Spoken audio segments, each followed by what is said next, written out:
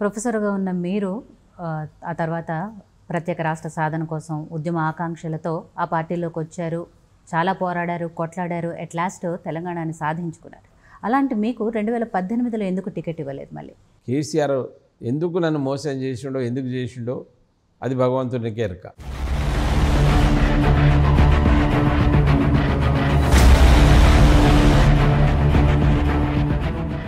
ఒక పెద్ద వ్యక్తి దేశ రాష్ట్రానికి దే తెలంగాణ తెచ్చినామని మనం అందరం అంటున్నాం. మాట్లాడిన మాటలు వినండి. మన సీతారాం నాయక్ కూడా ఐదు లక్షల మేయాడుతో గెలిచి బ్రహ్మాండంగా ఢిల్లీలో పోరాటం చేసే పరిస్థితి ఉండాలి. రెండు వేల పద్దెనిమిది రెండు వేల పద్దెనిమిది ముందు వస్తే ఎన్నికల్లో గంత పెద్ద మనిషి ఓ ప్రొఫెసర్ పట్టుకొని మాట్లాడి సర్వే చేయిస్తే నువ్వు ఎక్కడో ఉన్నావు కదా అన్నాడు. మళ్ళా ఎం ఎంపీ ఎన్నికలు అయినాయి కదా. పంతొమ్మిదిలో. పంతొ పంతొమ్మిదిలో. అప్పుడే మాట్లాడడం మిత్రుడు సీతారాం నాయక్ గారు మన ఎంపీ గారు ఎవరైతే ఉన్నారో ఆయన ఏం తప్పు చేయలే. నేను వాస్తవం మీకు చెప్తా ఉన్నా వేరే కారణాల చేత నేను అభ్యర్థిని మార్చింది తప్ప ఆయన తప్పు పని చేసిందని కాదు. ఒక ముఖ్యమంత్రి స్థాయిలో ఇట్లా మాట్లాడి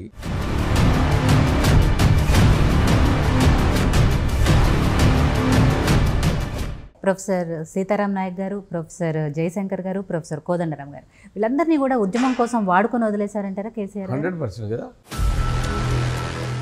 అంటే కేసీఆర్ గారు ఉద్యమ నాయకుడిగా ఉన్నప్పటి నుంచి కూడా మీకు తెలుసు కాబట్టి అప్పుడు కూడా అట్లనే ఉండేనా? లేకపోతే అధికారం వచ్చిన తర్వాత ఆయన మారారా?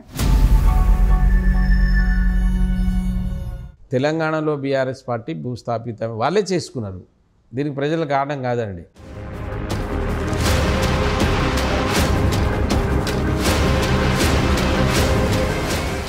నాకు అర్థం కాని విషయం ఏంటంటే మీలాంటి వాళ్ళు చాలామంది చదువుకున్న వాళ్ళు ఇంత రాజకీయ పరిజ్ఞానం ఉన్నవాళ్ళు వీళ్ళందరూ కూడా పార్టీలో ఉన్నప్పుడు ఈ విషయాలన్నీ అంటే ఉద్యమకారులకు అన్యాయం చేస్తున్నాము పక్క పార్టీలోకి వచ్చిన వాళ్ళకి పదవులు ఇస్తున్నాము ఇవన్నీ మంచి పద్ధతులు కాదు అనేది పార్టీలో ఉన్నప్పుడు ఎందుకు చెప్పలేదు? చెప్పినా వాళ్ళు వినలేదా? నువ్వు ఇట్లా కూర్చున్నావు నీకు నువ్వేం చేశాను నువ్వు మాట్లాడడానికి వీలు ఉండదు. ఎక్కడో ఆడ కూర్చోవాలి అంతే.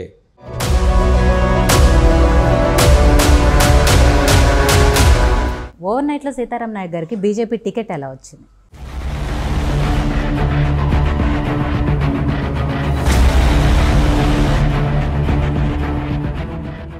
నమస్తే welcome to యోయోచివి time to talk. నేను మీ విజిత. ఈరోజు టైమ్ టు టాక్లో నాతో పాటు ఉన్నారు మాజీ ఎంపీ ప్రొఫెసర్ సీతారాం నాయక్ గారు.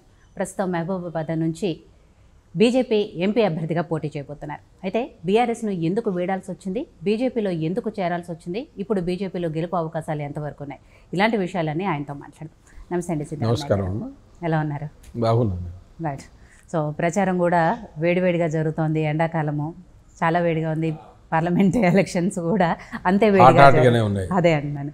సో ఎలా జరుగుతుందండి ప్రచారం ఓవరాల్గా ఇంకా యాభై రోజులు ఉంది కదా. అంటే ప్రచార సరళిలో ఇప్పుడే మొదలై నేను ఇంతవరకు నా పేరు డిక్లేర్ అయిన తర్వాత నేను అన్ని మా నియోజకవర్గ హెడ్ క్వార్టర్స్. నాకు ఏడు నియోజకవర్గాలు ఉన్నాయి.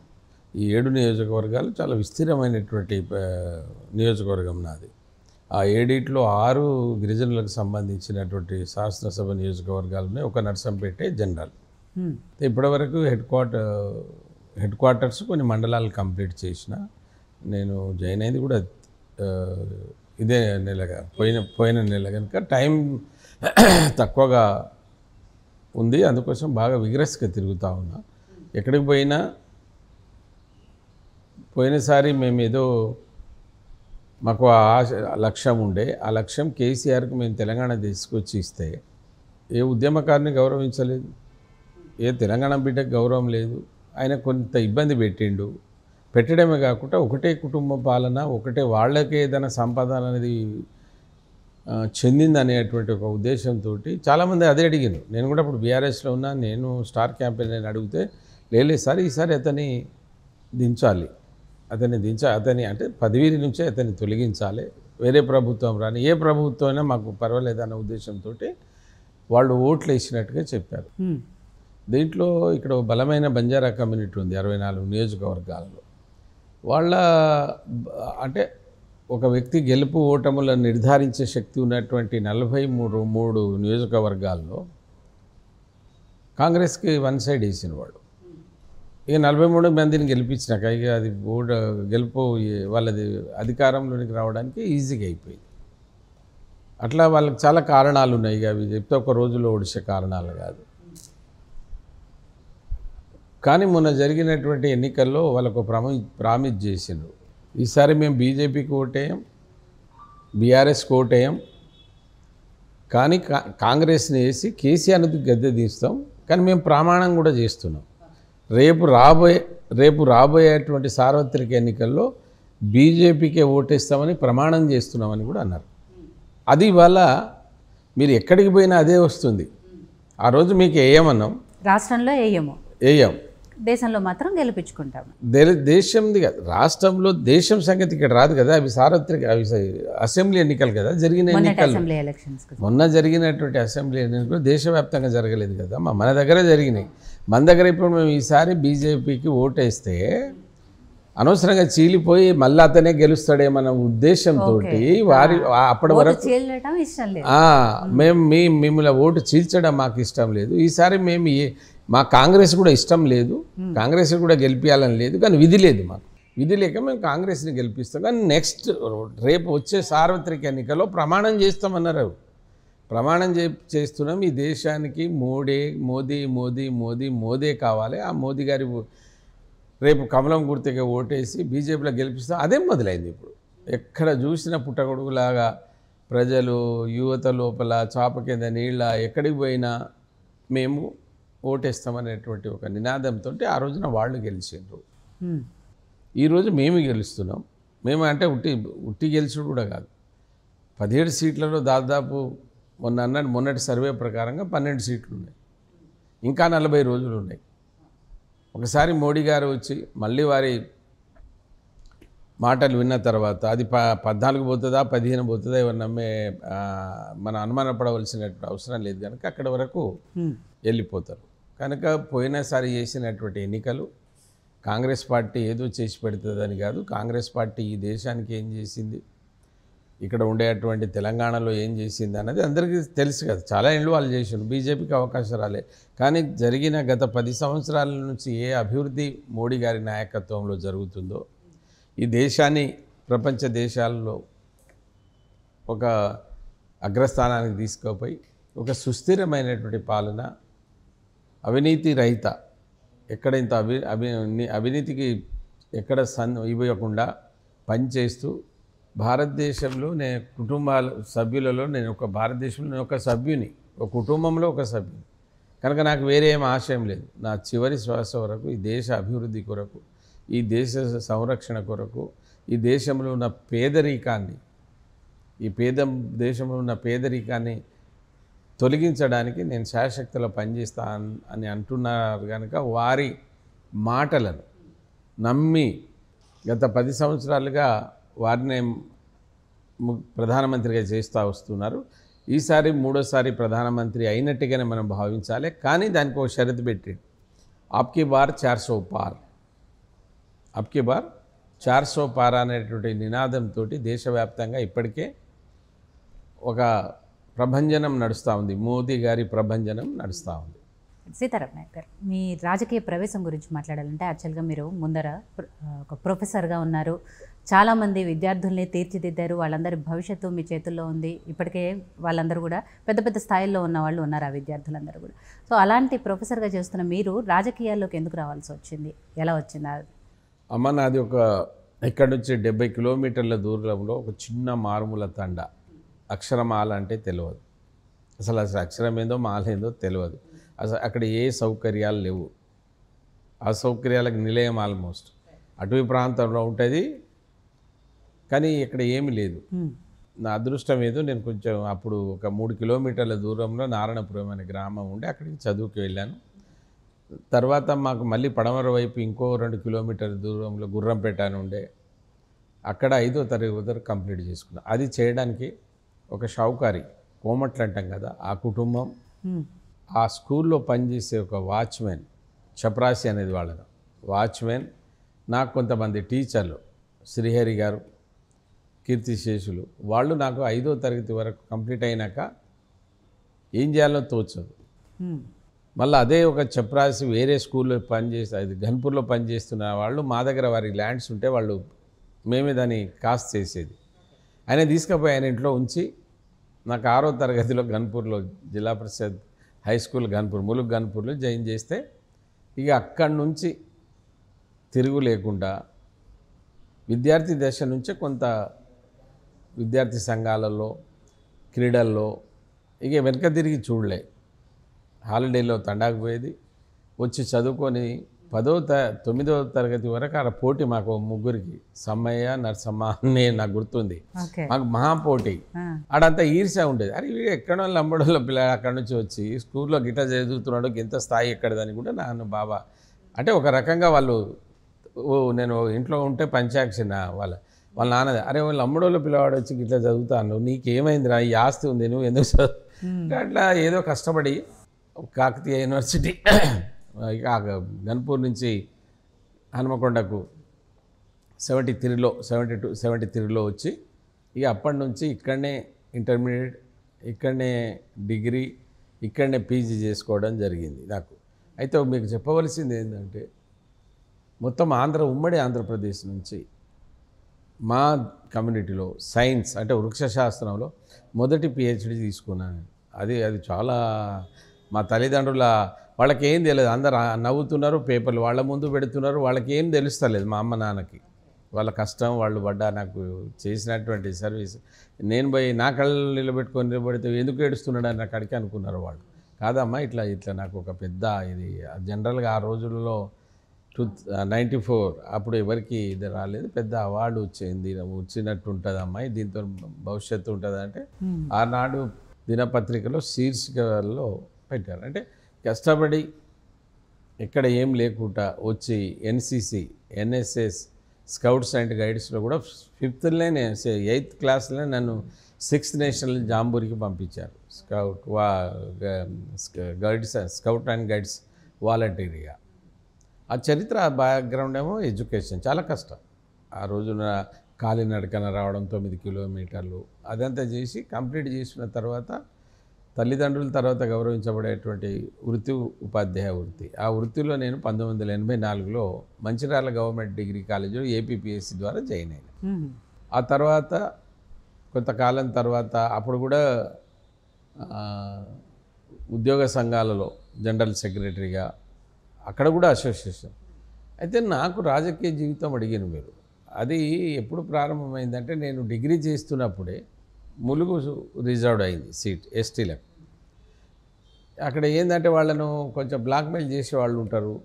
ఆరో ఆడొక మంచి విద్యావేత్త ఉన్నాడు ప్రొఫెసరు.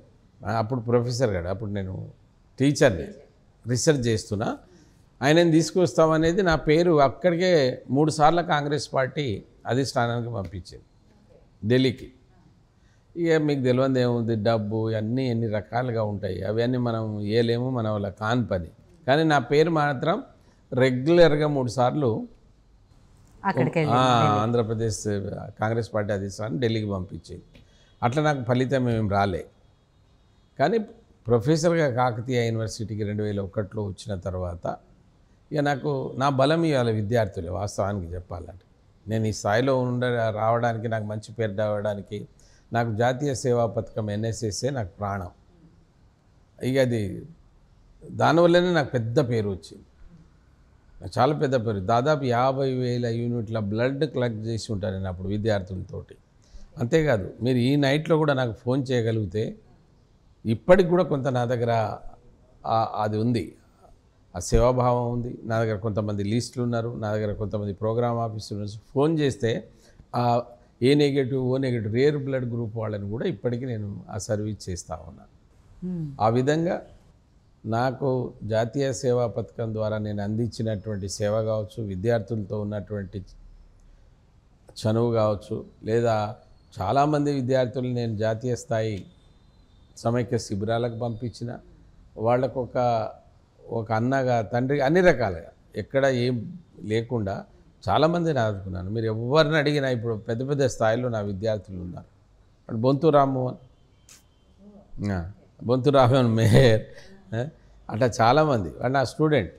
ఆ ఎన్ఎస్ఎస్లో వేరే సబ్జెక్ట్ వేరే అయినా ఎన్ఎస్ఎస్లో నా నాకు నమ్మిన బంటు అన్నట్టు. ఆ విద్యార్థులంతా ఇది చేసి సమైక్యత శిబిరం నిర్వహించాము ములుగులో. పదిహేడు రాష్ట్రాల నుంచి విద్యార్థులను పిలిచి జాతీయ సమైక్యత శిబిరం నిర్వహించి ఆ ప్రొఫెసర్గా ఉన్న తరుణంలో తెలంగాణ ఆంధ్ర అప్పుడు ఎన్టీ రామారావు గారు ముఖ్యమంత్రిగా ఉండే. ఉస్మానియా యూనివర్సిటీ వైకుంఠం అనేటువంటి ఒక ప్రొఫెసర్ని మన దగ్గర వైస్ ఛాన్సలర్గా చేశారు. అంతకుముందే తెలంగాణ అంటే ఉడుకుతుంది. జయశంకర్ గారు ఉన్నారు. ఏ మాటకు ప్రొఫెసర్ వెంకటనారాయణ. ఇక అంటే చాలామంది. ఆయన ఒకడనే కాదు. కానీ ఒక పది ఇరవై మంది ప్రొఫెసర్స్ నే నేను అప్పుడు ఆ, ప- ప- వారి కాలంలో ప్రొఫెసర్ కాదు నేను అప్పుడు. అప్పుడు గవర్నమెంట్ కాలేజీలో ఉన్నా. జరిగింది ఏంటంటే అక్కడ ఒక కాకతీయ యూనివర్సిటీ ఏదైనా అన్యాయం జరిగితే తట్టుకునే శక్తి ఈ ప్రాంతంలో లేదు. ఆత్మగౌరవానికి దెబ్బతిన్నా ఒక పేదవాడికి ఇబ్బంది కలిగినా లేదా ఏదన్నా దౌర్జన్యం జరిగినా కాకతీయ యూనివర్సిటీ అంతా అట్టడికై ఉడుకుతుంది అది. ఇక మసులుతుంది. అట్లా ఓ ఎలిగరాన్ని తయారు చేసినాం. తయారు చేసి మెల్లగా తెలంగాణ జయశంకర్ గారు పెద్ద పాత్ర పోషించాడు అనేది వారు క్లాస్లో. ఏమరా మీకు ఇదే కావాలా? తెలంగాణ ఆత్మగౌరవం అవసరం లేదా? తెలంగాణ అభివృద్ధి అవసరం లేదా? మనోడు ఒక్కడన్నా ముఖ్యమంత్రి కావద్దా? ఇదేనా? మీరు చేసేది అది అని పాపం బాగానే మోటివేట్ చేస్తే ఇక అప్పటి నుంచి తెలంగాణ అట్లా కొనసాగుతూ వచ్చింది. ఇక అంతల్నే ఇక మీకు తెలిసిన విషయమే. కేసీఆర్ గారు రెండు వేల ఒకటి ఒకటి స్థాపించినప్పుడు అది అదేదో వాళ్ళ తాత తండ్రులు లేదా వాళ్ళ చరిత్ర చూసి ఏర్పడ్డ పార్టీ కాదు అది. వాళ్ళు ఏమని అనుకోండి వాళ్ళకున్న స్వభావం వాళ్ళకున్నటువంటి దాంట్లో చేసింది కాదు. తెలంగాణ ప్రజల రక్తం తెలంగాణ ప్రజల చెమటతో వచ్చినటువంటి పార్టీ అది. తెలంగాణ ప్రజల ఆత్మగౌరవం దెబ్బతీస్తుంది. మా యాస భాషను ఆంధ్ర వాళ్ళు మమ్మల్ని అవమానిస్తున్నారు అనేది మెయిన్. మేము ఆస్తులుగానే ఆ తర్వాత మాకు వచ్చే ప్రాజెక్టులు వస్తారు మా నీళ్ళు నిధులు ఇవన్నీ పోతున్నాయని ఒక పార్టీ స్థాపించి అది ఒకటేసారి చాలా పెద్దగా అయిపోయింది. అయిపోయిన తర్వాత రెండు వేల పద్నాలుగు అంటే ఇంకో రెండు సంవత్సరాలు అయితే నాకు నేను రిటైర్మెంట్ కావాలి ప్రొఫెసర్ ఉద్యోగానికి. నాకు నేను ఒక ప్రత్యేకమైన పాత్ర పోషించిన దాంట్లో. మీరు ఎవరన్నా అడగండి ఏ విద్యార్థులను అడగండి. పోలీస్ స్టేషన్ రిమాండ్లో ఎవరైతే హడతాలు చేసి లేదా బంధువులకు దీంట్లో పాల్గొంటే వాళ్ళని అంతా తీసుకొచ్చి కూర్చోబెట్టి. నాకు లక్ష లక్ష యాభై వేల శాలరీ ఉండే ఒక సర్టిఫికెట్ ఇస్తే వంద మంది యాభై మంది విద్యార్థులను కోర్టులో బెయిల్ ఇచ్చేది నేను. నాతో వేరే వాళ్ళు కూడా ఇచ్చిండ్రు. కానీ నేను ఇచ్చినని వాళ్ళు ఇవ్వలేదు అనేది ఒక టాక్. అందుకోసం నా పేరే ఉద్యమ యోధుల జమానద్దార్ అనే బిరుదు ఇప్పటికి ఉంది ఎవరు చూసినా అంటారు ఎక్కడ చూసినా మంత్రులు వాళ్ళందరూ అంటారు. దాంట్లో భాగంగా ఒకసారి జడ్జి గారు ఏంటి మీరు ఏంది? ఊరికే మీరే వస్తారా కోర్టుకు? అసలు చదువులు చెప్తున్నారా లేదా. అంటే నేను మాట్లాడవద్దట కానీ అన్న సార్ నేనేమో టెర్రరిస్ట్ దాన్ని ఇవ్వ ఇవ్వడం లేదు. మాకు ఆకాంక్ష ఉంది మా విద్యార్థులు ప్రాణత్యాగాలు చేసి పనిచేస్తున్నారు వాళ్ళకి ఇబ్బందులు ఎందుకని ఇస్తున్నా సార్? ఆ తర్వాత మీ ఇష్టం అంటే నేను అరెస్ట్ చేయిస్తా నేను నేను సస్పెండ్ మీరు ఏమైనా చేయండి. నేను ఎక్కడ ఉన్నా నా సర్టిఫికేట్ ఇస్తా వస్తుంది మీరు మా విద్యార్థులకు ఇవ్వాలని. నా కారులో చెప్పుల రెండు మూడు రకాల చెప్పుల జతలు బనియన్లు ఇవి ఉండేది. ఆ పిల్లల్ని ఎదిగితే ఎక్కడ చెప్పులు పోతే ఏమో పాపం వాళ్ళ అది అది కనబ ఆ- సీన్ యాదకి వస్తేనే ఏడుపు వస్తుందమ్మా. అవన్నీ ఉండేది. ఆ పిల్లలు అది వేసుకునేది. ఇట్లా మాట్లాడుతూనే ఉంటాం నడుస్తూ ఉంటుంది. వాడు టక్కన పోయి కాల్చుకుంటాడు. అవా శవ కాలిపోయిన వాళ్ళని పట్టుకొని హాస్పిటల్లో కురుకుడు అది చేసుడు ఇక అది అసలు ఆ సీన్ మళ్ళీ గుర్తుకు రావద్దు అనుకో. అంత కష్టపడి తెలంగాణ తీసుకొస్తే ఆ తెలంగాణలో నాకు మహిబాద్ పార్లమెంటరీకి నాకు ఎంపీగా కేసీఆర్ గారు అప్పుడు నా నా పనితనాన్ని నా నీతి నిజాయితీ నేను ఏం చేస్తున్నాను అన్నీ తెలుసుకుని నాకు టికెట్ ఇచ్చారు. రెండు వేల పద్నాలుగులో. రెండు వేల పద్నాలుగులో. ఇచ్చి ఒక మాట అన్నాడు. అక్కడ గెలవ గెలవడిన ఎందుకంటే అక్కడ గేట్ వే ఆఫ్ ఖమ్మం మూడు నియోజకవర్గాలు ఉన్నాయి ఇల్లందు పినపాక భద్రాచలం. అక్కడ ఏం లేదు. మీ ఖమ్మంలో అప్పుడు ఉద్యమంలో కూడా భయపడుకుంటూ పోయేది వాస్తవం. చాలా భయపడుకుంటూ పోయేది. వీళ్ళకి ఏం పని లేదని తిట్టిన వాళ్ళు ఉన్నారు. అవమానపరిచినటువంటి వాళ్ళు ఉన్నారు. చేస్తే నేను అప్పుడు దేవుని దయ వల్ల కేంద్ర మంత్రిగా ఉన్న అప్పుడు బీజే ఇక్కడ కాంగ్రెసే అక్కడ కాంగ్రెసే. బలరాం నాయక్ గారికి టికెట్ ఇస్తే ఆ బలరాం నాయక్ గారి పైన నేను విజయం సాధించినప్పుడు టూ థౌజండ్ ఫోర్టీన్లో. నా పర్ఫార్మెన్స్ నేను బ్రహ్మాండంగా పార్లమెంట్లో ప్రదర్శించిన నూట నలభై మూడు క్వశ్చన్స్ వేసి నలభై రెండు మూడు సార్లు నేను పార్లమెంట్లో డిబేట్లలో చర్చల్లో పాల్గొన్నా. ముఖ్యంగా ఒక రెండు మూడు విషయాలు మీకు చెప్పాలి. డెబ్భై సంవత్సరాల ఈ స్వతంత్ర భారతదేశంలో రామప్పను ఎవరు పోయినా అడైత ఓ చెంబు పట్టుకొని అందులో ఇటుకేసి అది తేలుతూ ఉంటుంది. అంటే దాన్ని ఆ స్థాయికి దాంట్లో ఉండేటువంటి రసాయనాలు అవి పోయి అది చాలా తేలికగా తేలుతుంది. తప్ప ఈ ప్రాంతంలో ఉంది ఈ ప్రాంతంలో ఎంపీలు ఎమ్మెల్యేలు అయినం అనేది ఎవరికైనా ఉండాలి కదా. దాన్ని ప్రపంచ వారసత్వ సంపదగా గుర్తించాలి కదా. ఎవరు గుర్తించారు? నేను ఆ మండలం బిడ్డ నేను. ఎక్కడైతే రామప్ప నిలయమైనటువంటి వెంకటాపురంలో ఆరు కిలోమీటర్ల తర్వాత మల్లేపల్లి తండా ఉంటే అక్కడ పుట్టినటువంటి బిడ్డ నేను. నాకు ఆలోచన వచ్చి దాన్ని మూడు సార్లు పార్లమెంట్లో మాట్లాడిన ఇరవై ఇరవై ఐదు మంది వేరే ఎంపీలను కూడా తీసుకొని మేము మోడీ గారి దగ్గరికి పోయినాం. ఎందుకు ఇట్లా చేస్తూ ఉన్నారు? దక్షిణ భారతదేశం ఏం తప్పు చేసింది? అన్ని మార్నమెంట్కు మీరు ఇటే వారసత్వ సంపదగా చేస్తారా? మాకు ఈ చరిత్ర ఉంది ఇది కాకతీయుల కాలంలో కట్ట కట్టబడింది పదమూడవ శతాబ్దంలో. దీనికి చరిత్ర ఉన్నదాన్ని ఇస్తే అప్పుడు దాన్ని ప్రపోజల్లో పెట్టారు. దానికి కావలసినటువంటి మిగతా వాళ్ళు చేస్తారు అన్నీ మనమే చేసినామంటే నేను ఒక ప్రపోజల్ పెట్టి దారి పెట్టి దాన్ని కదిలించాను. ఒక మంత్రిని అయితే రెండు మూడు సార్లు కల్ కలిశాను. కల్చరల్. ఏమంటాడు ఆయన మేము ఇప్పుడు రేపు మీదే ముందు పెడతామన్నారు ఒక సంవత్సరం చేయించండి ఆయన. ఇస్తేనే పార్లమెంట్లో నిలబడ్డా. ఏ మీ దేశాన్ని విభజిస్తారా మీరు? ఇదేనా? న్యాయం అయింది మీకు మాకెందుకు ఇయ్యారంటే వాళ్ళు నెక్స్ట్ టైం లేదు లేదు నాయక్ సాబ్ అది ఇది ఏదో అయింది మేము పంపిస్తాను పంపించారు దాని వెనక చాలామంది చాలామంది అంటే తెలంగాణ మంత్రులు వాళ్ళు పెద్దగా వాళ్ళకు వాళ్ళ పని వాళ్ళు చేసి ఉంటారు కానీ ఇక్కడ ఉండేటువంటి ఆసక్తి కలిగినటువంటి ఎవరైతే ఈ దేవాలయాలు వాళ్ళ పరిరక్షణ ఉండే వాళ్ళు చాలామంది దాంట్లో పాల్గొన్నారు దాన్ని తీసుకొచ్చిన గిరిజన యూనివర్సిటీ ఇది ఈ రాష్ట్రంలో దేశంలో. గిరిజనుల్లో ఈ దేశంలో ఏడు వందల ఇరవై గిరిజన తెగలు ఉన్నాయి వాళ్ళ అక్షరాస్యత ఇంకా యాభై దాటుతలేదు. అయితే ఒక పేద విద్యార్థికి నాకు ఒక గిరిజన యూనివర్సిటీ ఉంది. నేను పై చదువు చదువుతానంటే భరోసా కల్పించడానికి అప్పటి ప్రభుత్వం రెండు వేల నాలుగులోనే దీని ఇందిరాగాంధీ నేషనల్ పేరుతోటి యూనివర్సిటీ పెట్టింది. కానీ ఇంతమంది ఎమ్మెల్యేలు ఉంటారు ఇంతమంది ఎంపీలు ఉంటారు. అసలు వీళ్ళకి ఏం పార్లమెంట్లో ఎందుకు పోతారో నాకు అర్థం కాదు. ఎందుకు అంటున్నా ఈ మాట అంటే ఇందిరాగాంధీ నేషనల్ ట్రైబల్ యూనివర్సిటీ అని పెట్టి అందులో ఏడున్నర శాతం ఇస్తారండి ట్రైబల్కి అడ్మిషన్లో. ఇదేం లాజిక్ ఇదేం న్యాయం? అని నేను పార్లమెంట్లో మాట్లాడినా.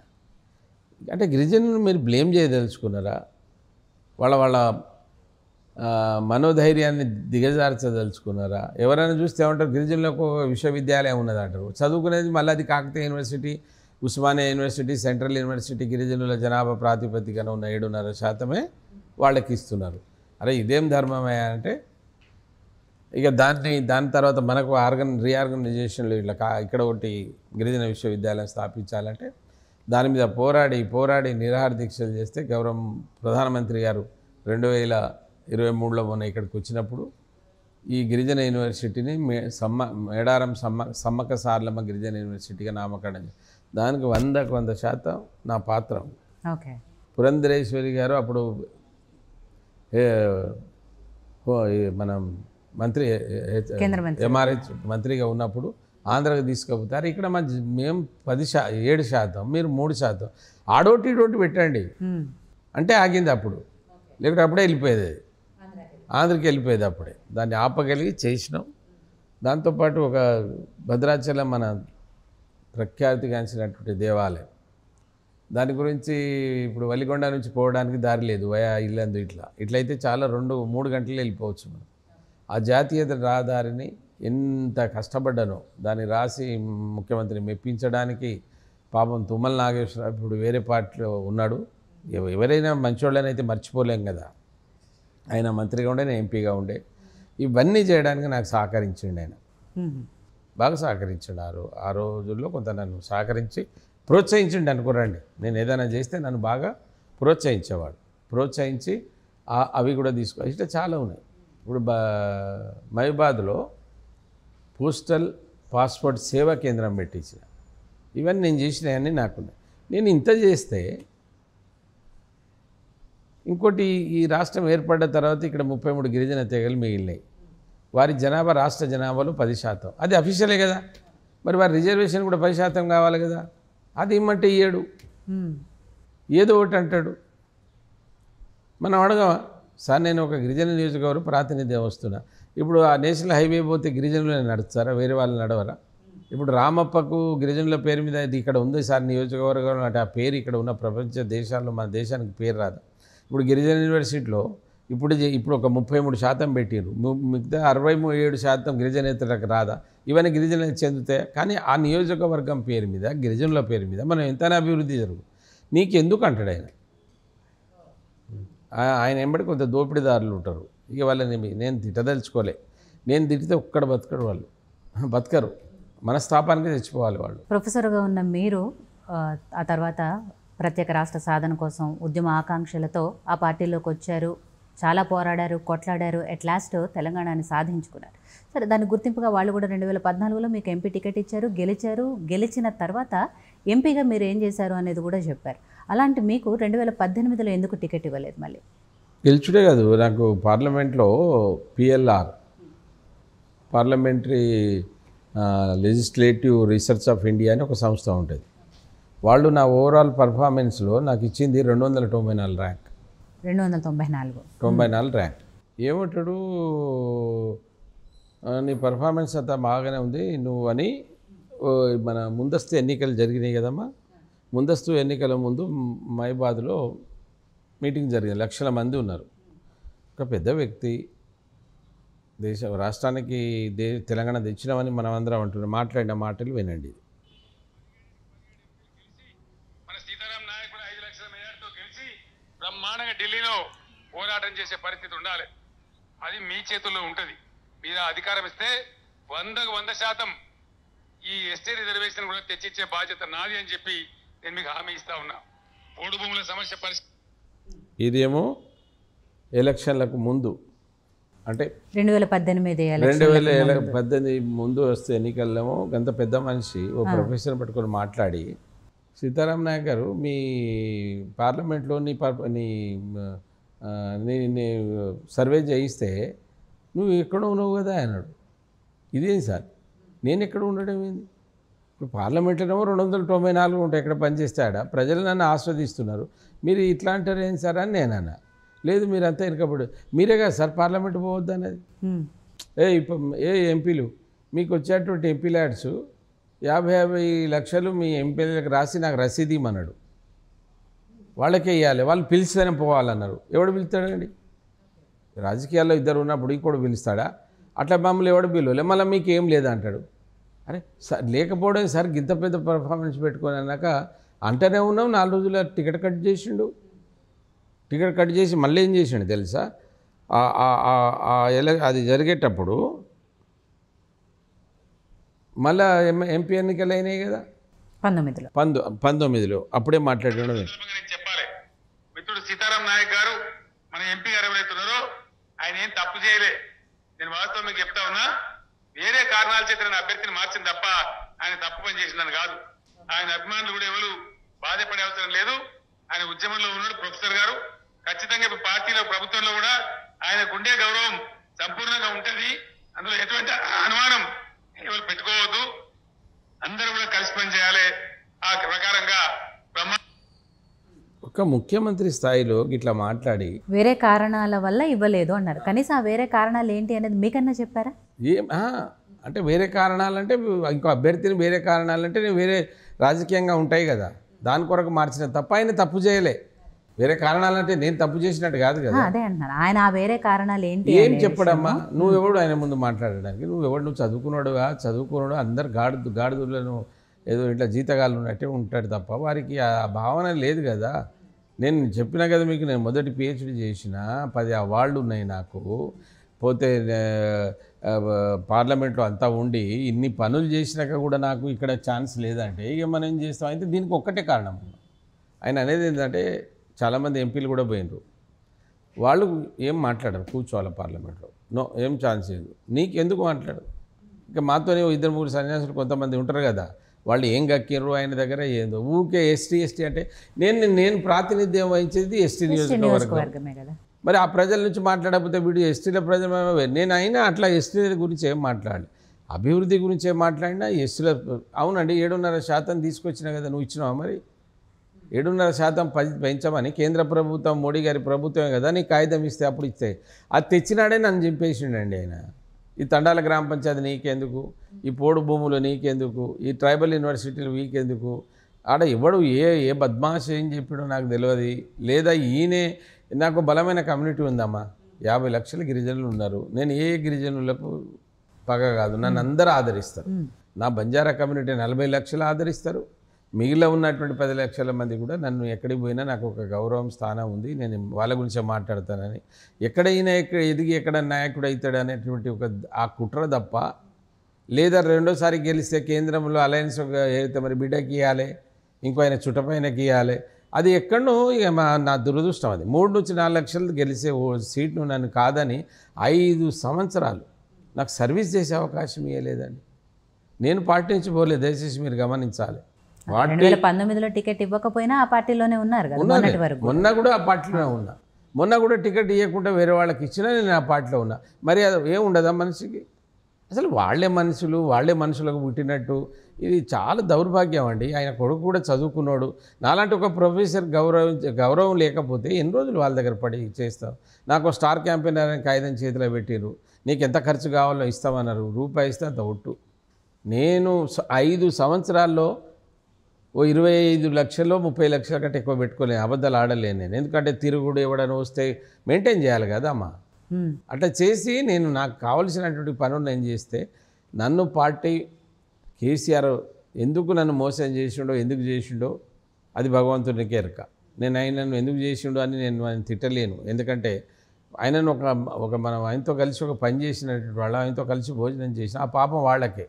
నేను వాళ్ళని ఆ మాట అనలేను. కానీ భగవంతుడు అనేటోడు ఉంటాడు అనేది ఇప్పుడు తెలుస్తుంది. ఏ ప్రజలను టీఆర్ఎస్ అని పెట్టినావు? తెలంగాణ రాష్ట్ర సమితి. అంటే తెలంగాణ ప్రజల ప్రాణం అది వాస్తవానికి. నువ్వు పెట్టుకున్న పార్టీ కాదు కదా?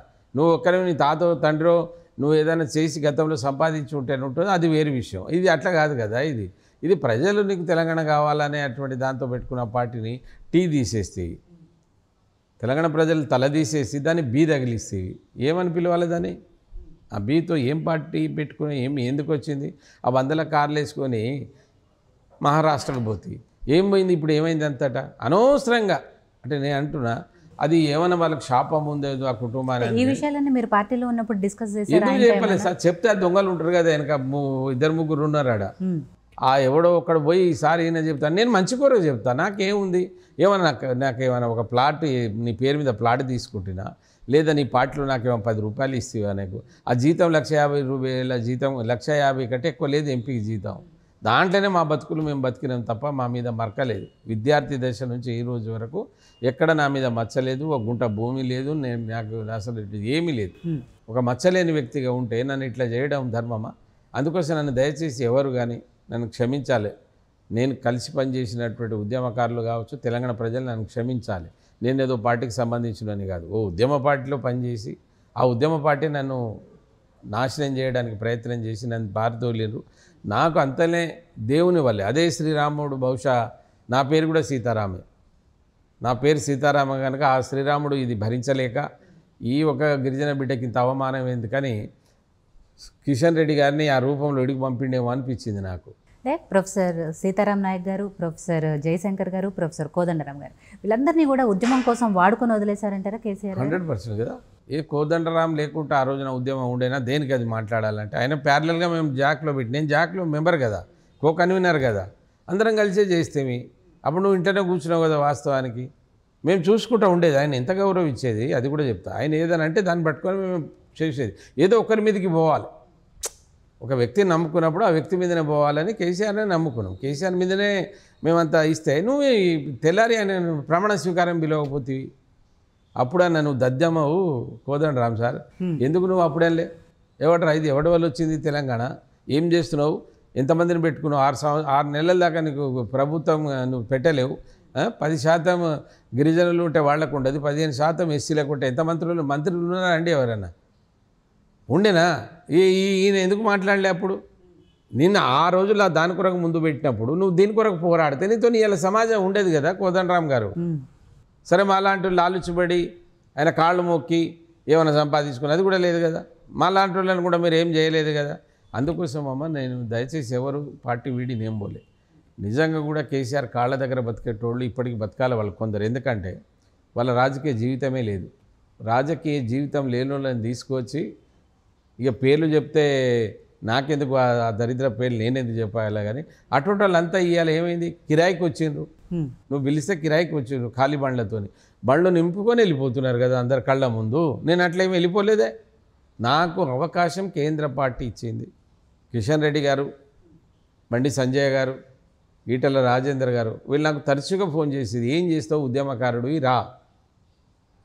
చాలామంది ఇంకా. మా ప్రేమేందర్ రెడ్డి గారు ఇక్కడ ధర్మారావు గారు వీళ్ళు ఎంతోమంది నాకు ఆ అవకాశం ఇచ్చారు రమ్మని. నేను అనుకున్నా జాతీయ పార్టీ ఇవాళ దేశమే మోడీ గారు మోడీ దేశంగా ఉంది. కనుక అటువంటి జ- నాయకత్వంలో పనిచేస్తే మనం కూడా దేశానికి ఇంత సర్వీస్ చేసిన వాళ్ళం అవుతాం కదా. ఈ దేశ సంస్కృతి సంప్రదాయాలను కాపాడుతాం కదా. నేను కూడా ఒక సోషల్ వర్కర్ కదా అనే ఉద్దేశంతో నేను పార్టీలో జాయిన్ అయినా తప్ప నాకేదో ఆ పార్టీలో లాభం ఉంది. ఆ పార్టీలో నాకు పేరు ఒక్క మేడారం ఒక మేడ ఒక గిరిజన యూనివర్సిటీ రామప్ప తీసుకొచ్చినంత ఒక్కరోజు నా పక్క కూర్చోబెట్టుకొని అరే సభాష్ అంటే నాకేం అడగపోద్దండి నా జీవితం అంతా ఆయన దగ్గరనే దారపోస్తుంది కానీ నాకు అట్లా చేయలేదు కదా మీరు. అంటే కేసీఆర్ గారు ఉద్యమ నాయకుడిగా ఉన్నప్పటి నుంచి కూడా మీకు తెలుసు కాబట్టి అప్పుడు కూడా అట్లనే ఉండేనా? లేకపోతే అధికారం వచ్చిన తర్వాత ఆయన మారారా? ఇప్పుడు అధికారం వచ్చిన తర్వాతనే మారిరండి అప్పుడే ఉండే అప్పుడు మాతో అదే మంచిగానే మాట్లాడేవాళ్ళు. అధికారం వచ్చిన తర్వాత నువ్వు అవకాశం ఇవ్వలేదు కదా. ఎవరైతే ఉద్యమకారులు ఉన్నారో వాళ్ళని ఎందుకు పిలవలేదు? నేను ఒక ప్రపోజల్ పెట్టిన. రాయనగూడెంలో ముగ్గురు అమ్మాయిలు. ఆ ఒక అమ్మాయి మా మా డ్రెస్ వేసుకొని పోయింది. ఇంకొక అమ్మాయి ఇంకో డ్రెస్ వేసుకొని పోయింది. అప్పుడు పోలీసు వాళ్ళు బోనిస్తలేరు కదా. తెలంగాణ మూమెంట్ ఆ ఆటోలో ఎక్కించి వాళ్ళని పంపిస్తే అక్కడ చేరుకొని ఆ ఇళ్ళలో ఉండి చెప్పు చూపెడితే ఏం చేసినావు ఆ ముగ్గురికి నువ్వు? అది ఎక్కడికి పోయింది? నేషనల్ ఇంటర్నేషనల్ లెవెల్కి పోయింది కదా తెలంగాణ ఉద్యమంలో. అటువంటి వ్యక్తులకు ఏం చేసినావు? నిన్ను చెప్పుతోని కొడతానని నిన్ను అమ్మను అక్కని తిట్టినోళ్ళను బూతులు తిట్టిన అందరిని తీసుకొచ్చి మంత్రులు ఇవ్వలేదా మీరు? ఏమైనా అడ్డుపడ్డామా మేము? ఇచ్చినా లేదా? ఎక్కువ మంది వాళ్ళే ఉన్నారుగా అంత ఎక్కువ మంది వాళ్ళే ఉన్నారు కదా. ఏం లాభం ఏం వచ్చింది? మాకేమో పార్టీ మీద ప్రేమ ఉండే. తెలంగాణ తెచ్చిన పార్టీ కనుక దాన్ని కాపాడుకోవాలని మాకు ఉండే. మీకు? దోచుకోవాలి వాళ్ళకి దోచిపెట్టాలంటే ఎవరు ఊకుంటారు ప్రజలు ఊకుంటారా టిట్ ఫర్ టాట్ అన్నట్టు బ్రహ్మాండమైనటువంటి రిజల్ట్ ఇచ్చారు. ఎవరు చెప్తే ఎవరు ఒప్పుకుంటారు? మీకు రిజర్వేషన్ ఇవ్వలేదా నువ్వు చెప్తే రిజర్వేషన్ ఇచ్చినావు తండాలు ఇచ్చినావు గ్రామ పంచాయతీ ఇచ్చినావు. అరే ఒక రూపాయి లాభం చేసినావా? అని అన్ని వానికి రాజ్యాంగంలో ఉన్నాయి అవి. అవి ఏక నువ్వు తప్పు చేసినావు. అది ఇవ్వకుండా తొమ్మిది రోజులు తొక్కిపెట్టినావు ఏం చదువుకోలేదా? వాళ్ళకి తెలియదా పిల్లలకు. ఇప్పటికీ అదే జరుగుతుంది. కాంగ్రెస్లో కాంగ్రెస్ అధికారంలో రావడానికి బంజారాలే కారణం. వాస్తవానికి చెప్పాలంటే అరవై నాలుగు నియోజకవర్గాల్లో ఏడు శాతం ఉన్నటువంటి బంజారాలు నలభై మూడు నియోజకవర్గాల్లో కేసీఆర్కి ఐదు ఓట్లు వేయకుండా మొత్తం నీకు ఇచ్చే ఆ నలభై మూడు ఎంపీలను గెలిపించినప్పుడు మీరే అంటారు కదా ఏం చేసిన వాళ్ళు కూడా మంత్రి ఇయ్యలే వాళ్ళు మంత్రి ఇయ్యలే వాడు సరైన స్థానం లేదు అక్కడ. ఎందుకో మరి వీళ్ళకు ఏమన్నా అట్లా అది కాలం గడుస్తుందేమో తెలియదు కానీ ఇబ్బందుల పాలు బాగా అవుతా ఉన్నారు. నేనేం తప్పు చేయలేదమ్మా నన్ను మాత్రం నా ప్రజలకు క్షమించాలని కోరుతున్నాను. నేను బ్రహ్మాండమైన పని చేసిన. వేరే పార్టీలో ఉండి అంటే ఒక ప్రాంతీయ పార్టీలో ఉండి నేను ఇన్ని చేసిన వాడిని మీరు నాకు అవకాశం ఇచ్చిరనుకో బీదరికంలో కొట్టుమిట్టాడుతున్నారు ఎడ్యుకేషన్లో వెనుక ఉన్నారు నాకు ఆ వాయిస్ ఉంది. కేంద్ర ప్రభుత్వం నేను ఇవాళ మోడీ గారి నాయకత్వంలో నన్ను ఎంపీగా చేస్తే నేను వారి కాళ్ళను పట్టుకొని ఈ ప్రాంతానికి ఏం ఇంకా ఏమున్నాయి నేను పెట్టిన పెండింగ్స్ అట్లనే ఉన్నాయి. నేను పెట్టిన పెండింగ్స్ చాలా ఉన్నాయి. ఖాళీగా అట్లనే ఉన్నాయి. ఇంతవరకు ఒక జవహర్ నవోదయ విద్యాలయం లేదు ఏ నియోజకవర్గంలో. నేను అప్పుడు ఏడు ఏకలవ్య స్కూల్ తేలే. అడగండి. ఏడు ఏకలవ్య స్కూల్ తీసుకొచ్చిన. ఏడు సబ్ పోస్ట్ ఆఫీసులు పోస్ట్ ఆఫీసులు తీసుకొచ్చిన. ఏడు చోట్ల ఎక్కడ టవర్ లేదంటే టవర్ వేయించిన. ఒక పదిహేను లీస్ట్ ఉన్నాయి. అది ఇస్తా మీరు అది చూపెట్టండి. చేసినాం పని చేసినాం కనుక నాకు ఒక నమ్మకం బలమైన నమ్మకం ఏంటంటే మోడీ గారి ప్రభంజనం మోడీ గారు చేస్తున్నటువంటి అభివృద్ధితో పాటు నేను చేసిన అభివృద్ధి ఇక మమ్మల్ని ముగ్గురిని నిలబెట్టి ఇప్పుడు ఉన్నటువంటి ఇద్దరు అభ్యర్థులు నన్ను నిలబెడితే ఎవరికి ఓటేస్తారనేది ప్రజలే నిర్ణయం నిర్ణయించుకుంటారు. అంతవరకు గ్యారంటీ. ఏం వాళ్ళు ఏమైనా చేసేది ఉంటే ఇట్లా టీవీకి చేయమనండి. నేను మంత్రిగా ఉన్నా నేను ఇది చేసిన తెలంగాణకి ఇది- ఇక ఉట్టిగానే వచ్చి నా ఇల్లు కూడా అయినే కట్టిండంటే నేనేం చేయాలి? నీ అమ్మాయి దరిద్రం అట్లా పాడేది అట్లా అబద్ధాలు ఆడ ఆడ ఆడకుండా నిజాన్ని చెప్పమని. ఇంకొకటి చివరికి నేను మర్చిపోయినా మీకు చెప్పాలి. ఎవరికి ఇచ్చినావు టికెట్ నాది? నా పర్ఫార్మెన్స్ మంచిగా లేదు. కానీ ఎవరి పర్ఫార్మెన్స్ మంచిగా ఇచ్చినావు? రేడియో నాయక్ బిడ్డకి ఇచ్చినావు కదా? ఏంది వాళ్ళ పర్ఫార్మెన్స్ తెలంగాణలో? ఓకే. ఏంది వాళ్ళ వాళ్ళ తెలంగాణలో వాళ్ళ పర్ఫార్మెన్స్ ఏంది? మమ్మల్ని చంపడానికి జగన్ని తీసుకొచ్చేటప్పుడు ట్రాక్ల మీద ఉన్నాం కదా మేము? మేము చచ్చేవాళ్ళమే కదా ఆ రోజున? ఆ రాళ్ళకు కారణమైన వాళ్ళను ఆ తూటాలకు కారణమైన వాళ్ళను ట్రాక్టర్ల నింద మందిని తీసుకొచ్చి మమ్మల్ని దాడి చేస్తాననేటువంటి అతని బిడ్డనే కదా ఇచ్చింది? ఇది దయచేసి ప్రజలు గమనించాలి. అంటే అప్పుడు అంటారు మీరు అప్పుడే ఎందుకు మాట్లాడే అప్పుడే వెళ్ళిపోలేదంటే నేను రాజకీయాలకు రాలేదు కదా వెళ్ళిపోవడానికి ఇంకోటి దోచుకొని తినడానికి. నేను తెలంగాణ కొరకు వచ్చిన తెచ్చిన తెలంగాణని ఎందుకు ధ్వంసం చేయాలి? తెచ్చిన తెలంగాణ బ్లేమ్ చేస్తే నా నేను బుద్ధి తక్కువనేది ఇప్పుడు కొడుకులుగా పుట్టాం. ఏదైనా మనం సహాయకారం తండ్రి తప్పు చేసిన తప్పు చేస్తున్నామనే చెప్పాలి మనం. ఆయన సదరేంత వరకు చెప్పాలి. కానీ ఆయన నేను సదరని నా చెప్పుతో నేనే కొట్టుకుంటానంటే ఏం చెప్తావు. అదే పని చేసిండు. ఎవరికి ఇచ్చినావు? కవిత పాత్ర ఏంది? ఆమె ఏమంటుంది? నేను కాంగ్రెస్ ఉన్నప్పుడు నేను జెండా పెట్టుకొని అడగ కూర్చున్నారు. అందరూ కూర్చున్నారమ్మా. కానీ జగన్ని తీసుకొచ్చింది ఎవరు? జగన్ని తీసుకొచ్చింది ఎవరు? తీసుకురావడానికి కారణం ఎవరు? నువ్వే కదా. అయినా ఆ నీతివంతుడిని ఆ తెలంగాణ తెచ్చిన బిడ్డను నీ కొరకు ఏడ్చుకుంటా నేను ప్రచారం చేసినా లేదా? సత్యవతి ఎవరు? ఆమెను మీరు మంత్రి ఇస్తేనే ఎక్కడ నోరిప్పినా? అసలు ఏంది మీరు తెలంగాణలో? మీ కాంట్రిబ్యూషన్ ఏంది? మీ శక్తి ఇస్తే మీరు కానీ వారు కానీ నా గురించి ఎప్పుడైనా ఒక మాట మాట్లాడినా నేనైనా ఎప్పుడైనా మీ గురించి ఒక మాట మాట్లాడినా? మాట్లాడలే. ఇప్పుడు ఆయనకేం తక్కువ చేసిండ్రు? బట్టలు చెబుతారు జనాలు. పుసుకున్న నా గురించి ఎవడన్నా మాట్లాడితే చాలా ఘోరంగా ఉంటుంది. ఎవరు వీరు అడగండి మీరు ఓట్లు అడగండి. కనుక ఇది నిజమా కాదా? కవిత తెలంగాణ ద్రోహానికి పాల్పడ్డటువంటి దాంట్లో ఒకరా కాదా? జగన్ రావడానికి నీ పాత్ర ఉందా లేదా? ఆ రాళ్ళ కారణం ఎవరు? సీతారాం నాయక్ ఆ రోజున ఎందుకు మాట్లాడలేదు? ఇవాళ మాట్లాడితే వెళ్ళిపోతానంటే అయ్యవకు పుట్టిన నేను తెలంగాణ తెచ్చిన బిడ్డలో నా రక్తం నా చెమట ఉంది. నేను ఆ తెచ్చిన పార్టీని నేను బదనాన్ని చేయదలుచుకోలే. ఇచ్చినా నేను నీకు సాయం చేసిన. నువ్వేం చేసినావు? మీరిద్దరు ఏం చేసి నాకేం చేయలేదు మీరు చేయలే. మాట ఇచ్చినట్టు ఇప్పుడు వినిపించిన కదా. అంత మాట ఇచ్చినటువంటి నాకేం చేశారు? సో ఇది క్రైటీరియా కదమ్మా. అన్నిటికీ ఏంటంటే మళ్ళీ ఆమెకు టికెట్ ఇచ్చినావు కదా. మళ్ళీ ఆమెకు టికెట్ ఇచ్చినావు. వెళ్ళిపోయే వాళ్ళు వెళ్ళిపోతున్నారు. ముఖాన ఈ అనకూడదు ఆ పెద్ద మనిషిని ఏమనాలి కానీ వాళ్ళు ఎట్లా భరిస్తున్నారు ఎట్లా ఉంటున్నారు కానీ ఆయన కొడుకు ఏం మాట్లాడతాడండి? అరే అరే అరే అరే నేనేదో పెద్ద మేధావి గొప్పవాడు ఏమో చదువుకున్నాడు కదా మాకేమైనా విలువ ఉంటుందంటే అన్ని ఈ మాటలు ఈ మాటలు ఇవ్వాలి కదా ఎన్నడూ సాగవు. ఆయనకి ఇక జీవితం ఉంది. అంటే ఆ మాటలే ఆ అహంకారపూరిత ధోరణి. ధోరణి. రిజల్ట్ కారణం? కారణమైంది. రిజల్ట్ కారణమైంది. హండ్రెడ్ పర్సెంట్ కారణమైంది. ఇంకా నేను ఎపిసోడ్ స్టార్ట్ చేయాలి మీకు తెలియదు. నేను వాళ్ళ మీద ఇంకా ఎపిసోడ్ ఏం స్టార్ట్ చేయదలుచుకోలే ఇప్పుడు అకల్ బంధుకి హిసారా కాఫీ? కానీ చెప్పాలి కదా మీలాంటి వాళ్ళు చెప్తే కదా ప్రజలు తెలిసి కాదమ్మా అకల్ బంధుకి హిసారా కాఫీ అంటారు. తెలుగులోనికి ఉట్టి ఇట్లా సైగ చేస్తే పట్టుకోవాలి. అసలు నేను తెలుగులో అనాలా తెలుగు తక్కువ అనాలా ఏమనాలో అది ఆ ఎపిసోడ్ వేరే ఉంటుంది. ఎందుకు? నేను ప్రజలకు ఒకటే మనవి చేస్తున్నా. తెలంగాణ ప్రజలందరికీ మనవి చేస్తున్నా. భారతీయ జనతా పార్టీని మనం ఆదరించవలసిందే. ఎందుకంటే కేంద్రంలో కాంగ్రెస్ పార్టీ ఉండదు రాదు ఇప్పుడు.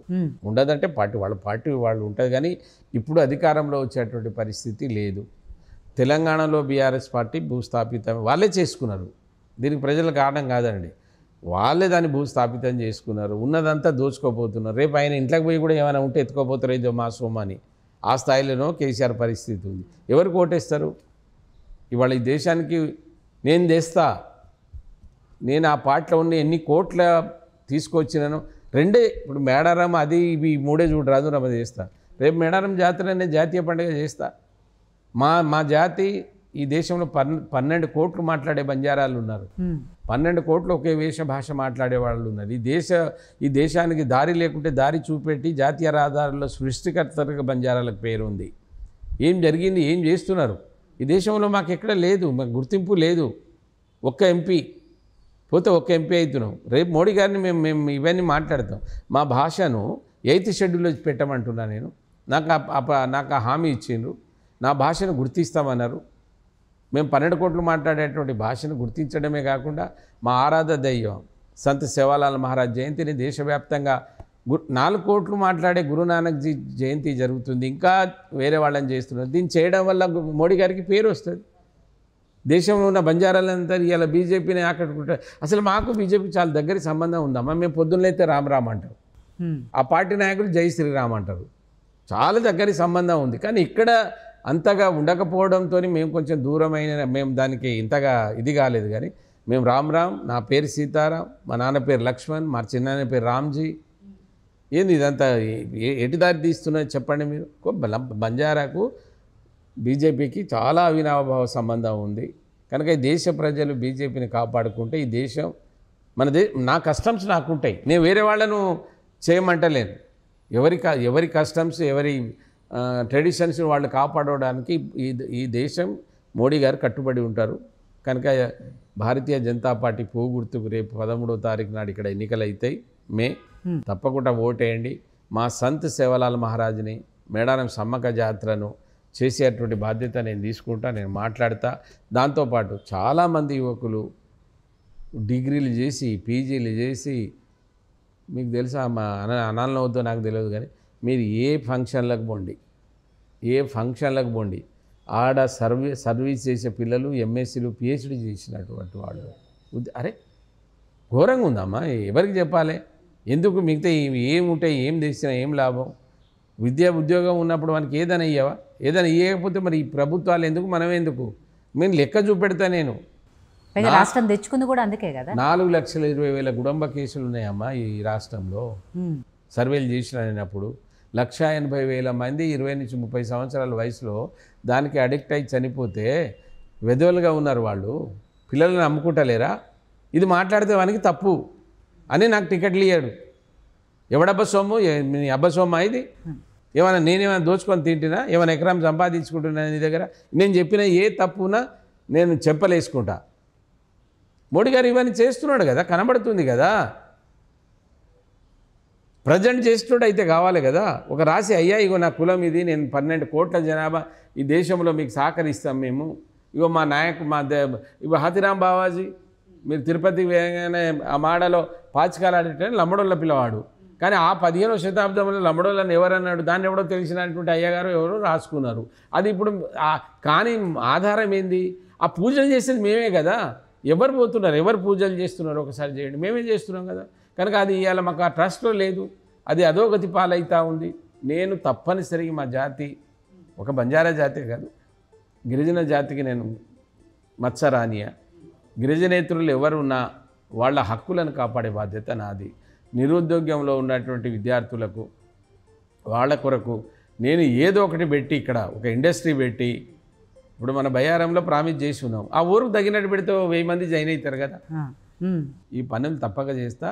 నా మీద ప్రజలు దయ ఉంచాలని నేను తప్పకుండా గెలుస్తున్నాను అనేది ఎందుకో నాకు సిక్స్ సెన్స్ నా పేరు నా పేరున జయరామ్ శ్రీరామ్ ఆ భగవంతుడు మన రామ మందిరం ఆడ అయోధ్యలో ఇక్కడ భద్రాచలం దక్షిణ భారతదేశంలో అయోధ్య మందిరం అంటున్నావు కానీ దానికి ఏం కాలేదు అరే ఇక్కడ ఎంత తప్పు మాట్లాడండి నన్ను తీసుకుపోయి వంద కోట్లు ఇస్తా అన్నాడు. ఆ పాపం తగిలిందేమో అనిపిస్తుంది. పక్కన ఉన్నందుకు నాకు తగిలింది. ఎవడైనా వంద కోట్లు దాన్ని చూడరామా? అంతేందుకు ఐదు సంవత్సరాలు నేను పుట్టిన ప్రదేశం నేను ఇన్ని చేసినటువంటి ములుగులో ఎస్టీలకు రిజర్వేషన్ ఉంటే ఒక్క మనిషిని నువ్వు అక్కడ ఇన్ఛార్జ్ పెట్టావా? ఎవ్వరు పెట్టలేదండి. లాస్ట్ నాడు ఆ అమ్మాయిని తీసుకొచ్చి జ్యోతి అనే అమ్మాయిని ఇచ్చాడు. అదేదో ముందు ఇస్తే అవి ఎక్కడో చనిపోయిన కాడనో బతికిన కారణం అయ్యో అప్ప అంటే పది ఓట్లు వచ్చేది కదా. అంటే ఏంది నీ గిరిజనుల మీద నీకు ఏంది అంతే చిన్న చూపు?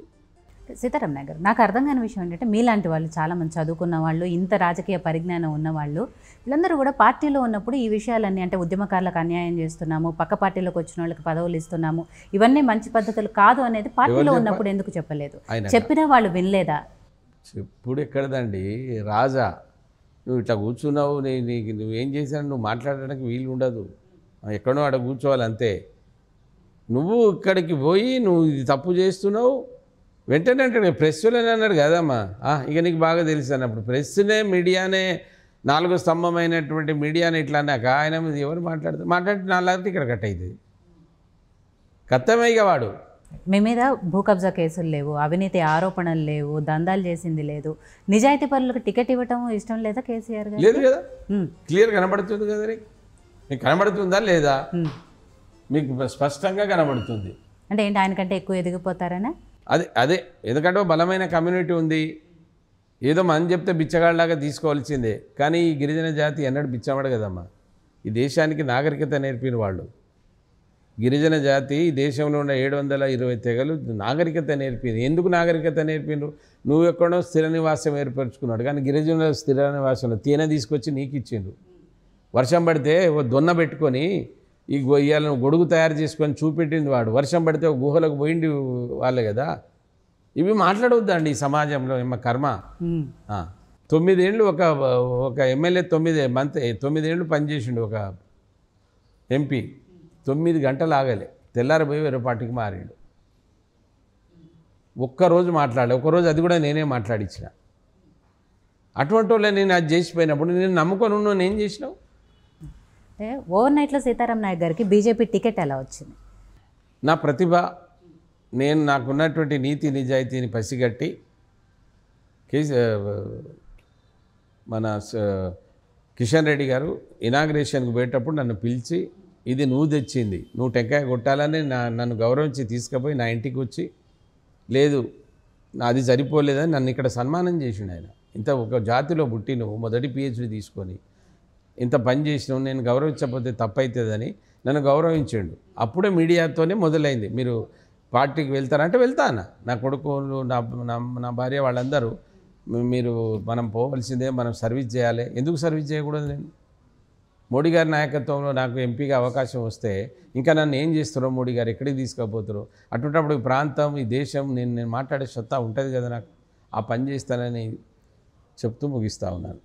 అంటే బీజేపీ నుంచి మీరు టికెట్ ఇచ్చారు సరే గెలుస్తారు ఇవన్నీ కూడా మీరు చెప్తున్నారు. కానీ బీజేపీకి అంతకుముందు పనిచేసిన వాళ్ళు ఎవరైతే మీరు బీఆర్ఎస్లో ఉన్నప్పుడు మీకు కాకుండా వేరే వాళ్ళకి టికెట్లు ఇచ్చారని మీరు ఎలా ఫీల్ అవుతున్నారో బీజేపీ నుంచి మీకు ఇచ్చినప్పుడు అంతకుముందు ఆ పార్టీలో ఉన్న కూడా అప్పుడు కూడా అలానే ఫీల్ అవుతారు కదా? ఇది సహజమమ్మ ఇప్పుడు ఇక్కడ రెండు విషయాలు ఏంటంటే ఇక్కడ ఆదిలాబాద్లో బంజారాలు ఆదివాసులు ఉన్నారు. ఇక్కడ బంజారాలు ఆదివాసులు ఉన్నారు. రెండే టికెట్లు ఉన్నాయి అక్కడ ఆదివాసులకు ఇస్తే ఇక్కడ గిరి లంబాడీలకు ఇవ్వాలి ఇక్కడ లంబాడీలకు ఇస్తే అక్కడ ఆదివాసులకు ఇవ్వాలి కానీ ఒకటి ఏం చూస్తారు? పార్టీ ఇక్కడ ఇంతకుముందు మనం అనుకున్నంత స్థాయిలో లేదనేది అందరికీ తెలుసు. అందులో ఎవరైనా ఆ స్థాయిలో గెలిచి ఉండి లేదా మంచి ఓటింగ్లో ఉంటే మంచి అంటే ఓ లక్ష రెండు లక్షలు ఉండి నాలాంటి వాళ్ళ వాళ్ళని డబ్బులు ఇచ్చి మీద పడి తప్పు తెచ్చుకుంటే వాళ్ళు తప్పు తప్పు అది. అది తప్పు. నేను దాన్ని కూడా ఇవాళ రేపు ఏమవుతుంది పేరు డిక్లేర్ అయినాక కూడా కుప్పలు కుప్పలు పోసి వేరే పార్టీలో డబ్బు పార్టీలు తీసుకున్నారని మనం చూస్తున్నాం. కానీ ఇక్కడ ఆ స్థాయిలో ఈ పార్టీ ఎదగాలి ఇంకా. ఈ పార్టీలో ఓట్లు పెరిగినాయి ఇప్పుడు. కానీ నాయకత్వం కూడా పెరగాలి కదా. ఆ నాయకత్వం ఇలా డెబ్బై సంవత్సరాల నుంచి ఇక్కడ వాళ్ళు పాపం తనువు చాలించి వాళ్ళు వాళ్ళ ఈ దేశం భక్తి కొరకు ఈ దేశం భక్తి ఈ దేశాన్ని కాపాడుకోవడానికి ఇంకా వివా ఏది బ్రహ్మచారులుగా పనిచేసినటువంటి వాళ్ళు చాలామంది ఉన్నారు. కానీ నాయకత్వంలో కూడా పైన రావాలి కదా. ఆ నాయకత్వం వస్తే నాలుగు ఓట్లు వస్తే గెలుస్తుంది అనేటప్పుడు మా లాంటి వాళ్ళు తప్పకుండా తీసుకోవాలి ఇదే మన పార్టీ కాదు. ఏ పార్టీలన్నా జరుగుతుంది మీరు అన్నట్టు ఇప్పుడు ఇక్కడ ఒక నాయకుడు ఉన్నాడు మా గిరిజన జాతిలో ఉన్నాడు అనుకోండి. ఆయనకి ఇంతకుముందు రెండు మూడు లక్షల ఓట్లు వచ్చి ఉన్నాయి. ఈసారి తప్పకుండా గెలుస్తాడు అనేది పార్టీ నాకు ఇయ్యదండి. టికెట్ అక్కడనే ఇస్తుంది మమ్మల్ని అందరిని బేరీజ్ చేసి ఓ దిక్కు నాకు న్యాయ అన్యాయం జరిగింది. ఓ దిక్కు నాకు ఒక వాయిస్ ఉంది. మీ ఇరవై నాలుగు గంటలు మీడియాలో నేను ప్రజలకు చేస్తా ఉన్నా. కానీ అటువంటి క్రైటీరియాలో ఇదే కాదు. ఎక్కడైనా ఇస్తారు. కాంగ్రెస్ ఇదే? జాతీయ పార్టీ కాంగ్రెస్ నేను ఎవరికి ఇచ్చిండ్రు. ఆ పార్టీకి ఉన్న బలం ఆ పార్టీకి ఉన్న దాన్ని బడితే అటువంటి వాళ్ళకి ఎక్కడ ఉంచాలో అక్కడ ఉంచాలి. కానీ నా పార్టీకి త్యాగం చేసిన వాళ్ళు కదా. నా పార్టీ కొరకు పనిచేసేవాళ్ళు నిజంగా అట్లా ఉన్నా కూడా నా పార్టీలో వచ్చిండి ఈయన గెలవాలనేటువంటి పని చేస్తారు. గెలిపియడానికి ప్రయత్నం చేస్తాను తప్ప ఈయన ఎందుకు వచ్చిండ్రు అనేది ఉండదు. ఈ బిఆర్ బీజేపీ పార్టీలో ఆ సిద్ధాంతం ఉంది. బీజేపీ నుంచి టికెట్ ఆఫర్ రాకపోయినట్టయితే ఏం చేసేవాళ్ళు సీతారాం ఏం లేదండి నేను హాయిగా నాకు వాయిస్ ఉంది. నేను సామాజిక సేవ చేసేవాడిని. నేను ఒక ప్లాన్ చేస్తా ఉన్నా. Rare blood group donors club. Rare blood donors club అని ఈ మొత్తం రాష్ట్రంలో కొంత డబ్బు పెట్టి ఒక వెబ్సైట్ తయారు చేసి దాంట్లో. ఒక యాక్సిడెంట్ జరిగితే ఆ సౌండ్తో పెట్టి ఆపదలో ఉన్నారు బ్లడ్ ఇవ్వండి వాళ్ళ నంబర్లన్నీ కింద ఇస్తాం. అది గవర్నమెంట్కి సంధానం చేయాలని చూస్తున్నాను నేను. ఎందుకంటే ఆపదలో ఉంటే వాళ్ళు వెహికల్ పోవాలి ఆ వ్యక్తిని తీసుకొచ్చి బ్లడ్ ఇవ్వాలి లేకుంటే ఈ బయట ఎవరిది పడితే అది పదివేలకు అమ్ముతున్నారు అవి. అది నాకు మొదటి వచ్చింది కదా. నేను ఎన్ఎస్ఎఫ్ బ్లడ్ డొనర్ క్లబే పెట్టి అప్పుడు పెద్ద పేరు తెచ్చుకున్నా. ఇప్పుడు రాజకీయాలు ఉన్నా కూడా అది చేస్తాను నేను. దాన్ని ఇడిచిపెట్టా ఏదో ఒకటి చేస్తాం. ఏముందండి నాకు నాకు ఒక అల్లుడు ఐఆర్ఎస్ ఉన్నాడు. కూతురు హౌస్ వైఫ్స్కి వాళ్ళకి ఇద్దరు పిల్లలు. ఆయన బ్రహ్మాండంగా మొన్నటిదాకా ఇక్కడ డిప్యుటేషన్లో ఉండే కమిషనర్గా ఉండే. ఇప్పుడు మళ్ళీ ఏడిఆర్ఎంగా అతని డిపార్ట్మెంట్కి అతని నా పెద్ద కొడుకు డాక్టర్ ఎంఎస్ ఆర్థోపెడిక్. మంచి పేరు తెచ్చుకున్నాడు. నా చిన్న కొడుకు అకాడమిక్ కన్సల్టెంట్గా చేస్తున్నాడు. ఇక మాకు ఇంకా నా భార్య మేము మా కుటుంబంలో అటువంటిది ఏం లేదు. ఇవన్నీ ఇప్పుడు ఇల్లు కట్టిందేమో ఇదైనాక కాదు. నా నా పెన్షన్ డబ్బులు కావచ్చు. ఇప్పటికీ నెలకి యాభై వేల రూపాయలు కట్ అవుతున్నాయి దీని మీద? హౌస్ లోన్స్ ఇవన్నీ ఇవన్నీ చేసుకొని ఓ మంచి అన్నిటికీ మించి ప్రొఫెసర్గా ఒక సాటిస్ఫాక్షన్ సంతృప్తి 100% జీవితం నాకు- గడిపారు నాకు- నాకు కదా విద్యార్థి లోకం ఎక్కడ కనబడ్డా. సార్ మీలాంటి అమ్మాయిలు వచ్చి సార్ నేను టీచర్ అంటే ఇక ఇంతకంటే ఆనందం ఏం కావాలమ్మా? ఏం కావాలి చెప్పండి? వాడు ఎక్కడైనా దొంగతనం పోయి బేడీలు వేసుకొని కనబడితే ఏడుస్తామేమో కానీ అటువంటి పిల్లలు లేరు దేశంలో పుట్టలేరు. ఎన్ఎస్ఎస్లో ఉన్నటువంటి వాళ్ళు నా విద్యార్థులు చాలా ఆనందపడతాను నేను బీజేపీ అభ్యర్థిగా సీతారాం నాయక్ గారు కాంగ్రెస్ అభ్యర్థిగా బలరాం నాయక్ గారు బీఆర్ఎస్ అభ్యర్థిగా మాలత్ కవిత గారు ముగ్గురు మధ్య పోటీ ఎలా ఉండబోతోంది? నాకు తెలిసి కా బీఆర్ఎస్తో పోటీ అనేది లేదు. బీఆర్ఎస్ లేదు. కాంగ్రెస్ ఎందుకంటే కొంత ఎమ్మెల్యేలు ఉంటారు కార్యకర్తలు ఉంటారు వాళ్ళకు కానీ ఇప్పుడు ఈ రోజులలో ఎవరో చెప్తే ఓటేసే పరిస్థితుల్లో లేరమ్మా. దీనికి మీకు ఒక ఉదాహరణ చెప్పాలి. నేను గెలిచినప్పుడు బ్రహ్మాండంగా టీఆర్ఎస్ ఉంది. ఏడు నియోజకవర్గాలు ఐదు ఓడిపోయినాం మేము. ఓకే. ఒక ములుగును మైబాద్ గెలిచిన దగ్గర సీతారాం నాయక్ గెలిచిండు. ఐదు ఓడిపోయినప్పుడు అప్పుడే ఇప్పుడు వీళ్ళు ఎంతమంది ఉంటేయింది ఆడ మోడీ గారి ప్రభంజనం ఉంది కదా ఆ దేవుని రూపం అక్కడ కనబడుతున్నాడు కదా ప్రజలు ఓట్లు వేస్తామంటున్నారు కదా ఈ పనులు చేసి ఉన్నా కదా కాదు వాళ్ళు ఏమైనా చేస్తారంటే నమ్మితే మనం ఏం చేయలేం. కనుక బీఆర్ఎస్తో పోటీ లేదు. కాంగ్రెస్తో ఎందుకంటే వాళ్ళ ఎమ్మెల్యేలు ఉన్నారు కదా వాళ్ళకి వాళ్ళ వాళ్ళ కొరకనే ఏదో వాళ్ళ ప్రయత్నం వాళ్ళు చేస్తారు. కానీ ప్రజలు వాళ్ళకు కూడా ఓటేసేది లేదు. ఓటు బీజేపీ పువ్వు గుర్తు మోడీ గారికి వేస్తారమ్మా. సో ఫైనల్గా మోడీ గారి నాయకత్వంలో పార్లమెంట్లో మీ గళం ఎలా వినిపించబోతున్నారు? నా గళం పేద ప్రజల గళంగా తప్పనిసరిగా ఉంటుంది. ఎందుకంటే నా కష్టాలు ఏదో నాకు తెలుసు. ఆ విద్య నేను ఆ స్థాయికి రావడానికి ఎంత కష్టపడ్డానో నాకు తెలుసు. ఉద్యోగం లేకపోతే ఎంత కష్టం ఉంటుందో తెలుసు. ఆత్మహత్య చేసుకున్న వాళ్ళు చాలామంది ఉన్నారమ్మా. విద్యార్థులు నాకు నాకు తెలుసు కదా. ఏం చేయాలి వాడు అంతా చదివి ఏం లేకపోతే? వాళ్ళ ఉపాధి ఉద్యోగ అవకాశాల కొరకు నేను అదే పార్టీలో ఉన్నా కనుక నేను బ్రహ్మాండమైనటువంటి ఏదైనా ఒక ఇండస్ట్రీ నా ప్రాంతంలో పెట్టాలి. అది గిరిజన ప్రాంతం. అది రాజ్యాంగం ఇచ్చినటువంటి హక్కు. వారిని ప్రాధాయపడి కొంతమందిని కన్నా నేను ఆదుకుంటాననేటువంటి నమ్మకం నాకుంది నేను తప్పకుండా చేస్తాను సో మొత్తానికి మీ వాయిస్ని పార్లమెంటులో వినిపించాలని ఏదైతే ఒక సామాజిక వర్గానికి ప్రతీకగా మీరు పనిచేస్తున్నారో ఆ సామాజిక వర్గానికి పూర్తి స్థాయిలో న్యాయం చేయాలని మనస్ఫూర్తిగా కోరుకుంటున్నామండి. Thank you. Thank you so much thank you